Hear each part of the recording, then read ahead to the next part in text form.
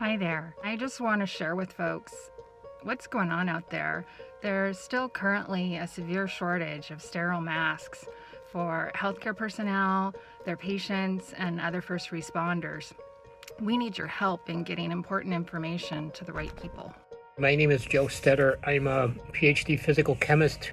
I want to tell you about this idea that my engineering team and I came up with to make a sterilizer container about the size of a small microwave oven that could sterilize small things like masks. We have an approach that would add our existing ozone sensors. The box could contain 25 masks at a time and about uh, 1,200 per day.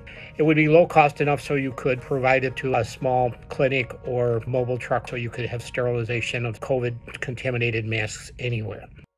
We want to help in this crisis. We have the team to make portable, low cost sterilizers a reality. We need partners or a customer like the state of California. Please give us a call. God bless and good luck to everyone during this crisis.